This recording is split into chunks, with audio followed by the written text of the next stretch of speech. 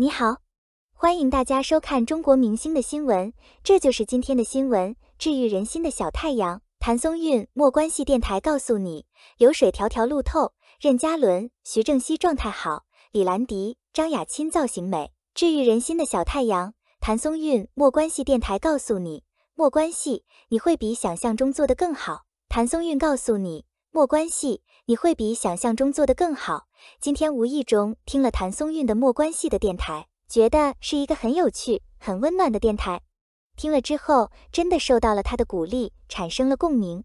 没关系这个词在我们的生活中很常见，非常有趣。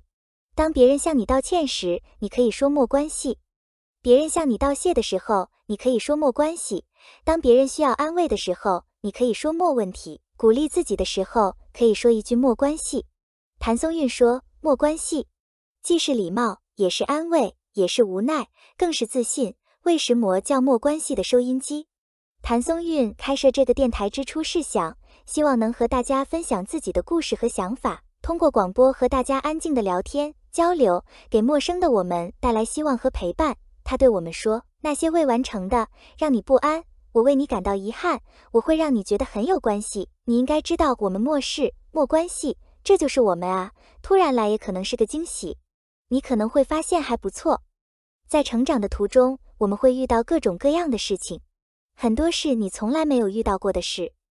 你可能吓到我了，我可能会让你紧张，我可能会让你畏难。没关系，放轻松，面对它就好了。来看看谭松韵分享给我们的故事吧。第一次，未知和障碍层出不穷，该怎么办？谭松韵第一次接触剧组时。她一无所知，觉得剧组很神秘。什么是四页纸的戏？台词怎么说？在剧组吃便当吗？当时很紧张的她，一共演了两天戏。拍摄结束后，导演送了她一句话，他说：“好好表演，记住第一次演戏的心情。”当时的她不能理解那是什么感觉。之后，当她真正进入这一行时，她才明白，这种感觉很简单。对演员来说，这种感觉很重要。当你成长的时候。你可能会感谢击退你的人。有一次，在非常初期的时候，他在拍一部剧，当时的他还没有上大学，表演中也充满了未知，戏也没拍过好几次。一出戏是他和另一个演员边走边聊，摄影师对他说要上轨道，就像列车的轨道，三脚架在轨道上，帮助照相机滑动。为了让演员正对住摄像机，他们走在摄像机滑动的轨道上。这样很有可能不小心绊倒，必须演出在平地上行走的感觉。当时的执行导演说：“你怎么能让他步入正轨？他是那么笨。”这真是一万点的打击。当时的他觉得自己幼小的心灵受到了严重的创伤，最讨厌那个导演，到旁边偷偷哭了一场，终于回来继续拍摄了。最后这出戏很顺利的结束了。他对自己说：“没关系，我还可以。”从这次深刻的经历来看。他以后演戏的时候，在步入正轨的时候，特别注意怎样才能走得平稳。所以他在那之后特别感谢导演。未知的不确定性多少有些紧张，在取得一定程度成果的时候，回顾一下曾经遇到的障碍，我觉得他们没什么大不了的。鼓励自己是以努力为前提的，不能光靠嘴。所有的成功都不是偶然的。十九岁时，他在拍摄《搞笑一家人》时，导演对他说。吴孟达没有在戏剧现场拿剧本，因为他从以前开始就在学习一切。吴孟达是大家都很喜欢的喜剧演员，要知道他的作品很有趣，但不低俗，在电影方面的成就有目共睹。只有认真学习的演员才能成为真正的演员。如今的谭松韵已经十多年了，带来了很多优秀的作品，他的成果是他努力的结果。面对大型活动时，他还有点紧张。但他已经能很好的应对了，因为他的心总是在鼓励自己，没关系，我能行，没关系，真是安慰自己最好的话。我的牙很不干净，经常被说。那时我对自己说，没关系，让他们笑也没什么。我的名字很坏，每次做自我介绍都很尴尬，但我不能不说。每次遇到这种情况，我都对自己说，没关系。说完。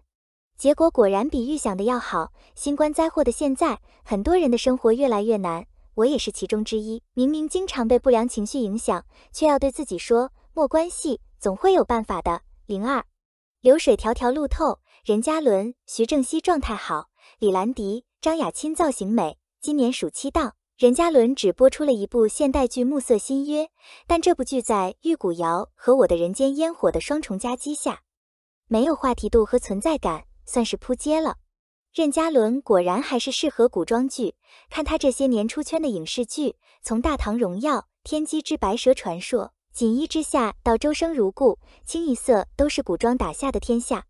他的古装有助免检产品的称号，而他目前手握三部古装剧，都是未播先火的大制作。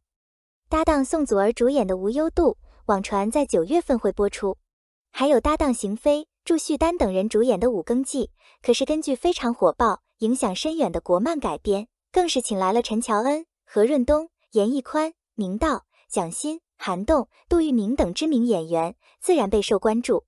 如今任嘉伦还有一部古装剧正在紧张拍摄中，那就是和李兰迪、张雅钦、徐正熙主演的《流水迢迢》。任嘉伦扮演魏昭，在这部剧中的状态相当好，一身白衣，银冠束发，脸看起来好小，娃娃脸超显年轻，剑眉星目。眼神如炬，看到了当年小南陈王的影子。还有一身蓝衣黑衣造型的也不错，多了几分庄严肃穆。男二号是徐正熙扮演的裴演，之前凭借《独孤天下》当中的宇文护深受观众的喜欢，这几年也演了好几部男主剧，不管是颜值还是身材都维持的相当好。这部剧中是高马尾半披发，白衣、紫衣、蓝衣机套路透都超帅，任嘉伦这次有压力了。女主是李兰迪扮演的江湖女子江慈。李兰迪以前因为梦回大清太胖了，被群嘲不适合古装，在星落凝成堂瘦了不少，凭借灵动自然的演技扳回了一局。这次看起来又清瘦了许多，而且造型美出了新高度。盘发造型有绿衣、粉衣两套路透，绿衣清新温婉，粉衣明媚娇俏，长相自然耐看。还有一套高马尾大麻花辫的造型，蓝紫色服饰绣铸独特的花纹，有南疆少女即视感，独特的异域风情。